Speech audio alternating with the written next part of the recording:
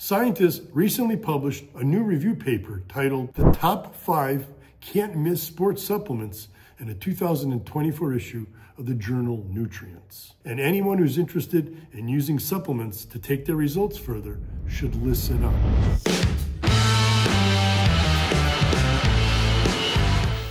Hi, I'm Dr. Jim Stoppani and welcome to my YouTube channel. I'll be covering studies and providing tips on training, nutrition, supplementation, and anything else my subscribers want to know. If you find this information useful, don't forget to hit the like button, comment below, and share this video. And don't forget to hit the subscribe button so that you can be notified when I post new videos.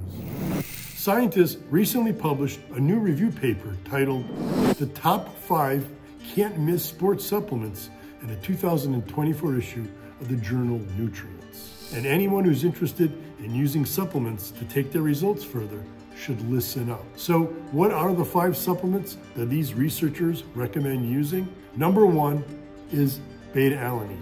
And this list is just alphabetical. It's not in any priority or on effectiveness. It's just an alphabetical list. So one is beta-alanine. Two is caffeine. Three is creatine. Four is nitrates. And five is protein powders or protein supplements. In the paper, they write, and I quote, beta-alanine improves exercise capacity by increasing skeletal muscle carnosine levels, which helps to buffer the acid environment in the skeletal muscle and thus reduces fatigue.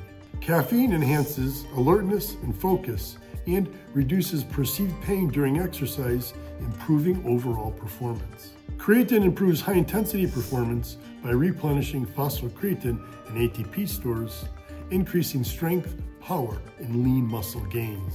Nitrates boost muscle oxygen delivery, enhancing endurance. And protein is crucial for muscle repair and growth, aiding recovery and promoting skeletal muscle hypertrophy.